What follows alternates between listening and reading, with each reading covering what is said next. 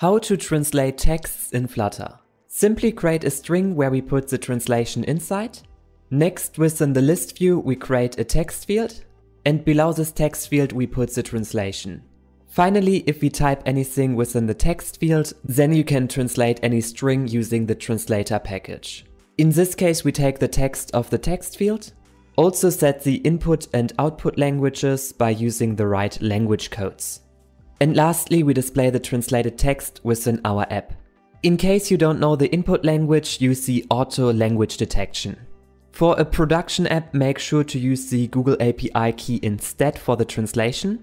Simply go to this URL after creating a Google Cloud project, click on Enable, then click on the Credentials tab, on Create Credentials API key, and copy your API key.